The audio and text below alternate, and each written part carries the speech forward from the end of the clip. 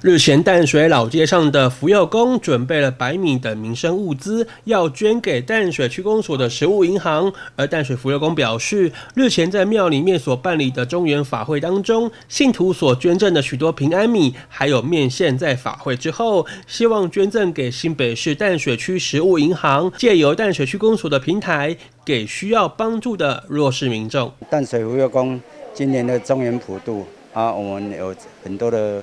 善心大德，呃，捐赠了一些的这个普渡的贡品，还有白米一批啊。啊，我们今年比较特别，是我们白米哈，呃，有收到捐赠了将近的三三千斤左右。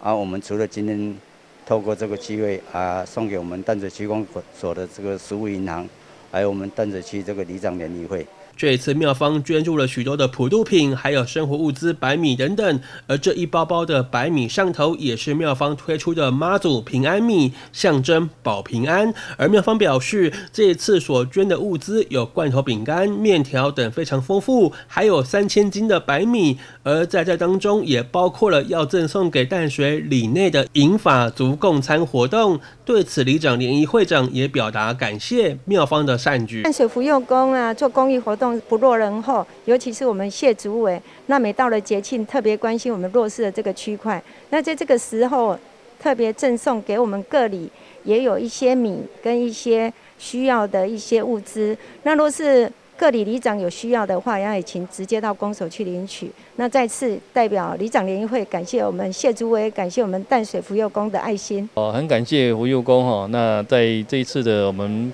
呃辅助之后哈，他提供相当多的贡品，还有白米哈，有一百一百份的贡米贡品，有五百斤的白米哈。那给公所那也。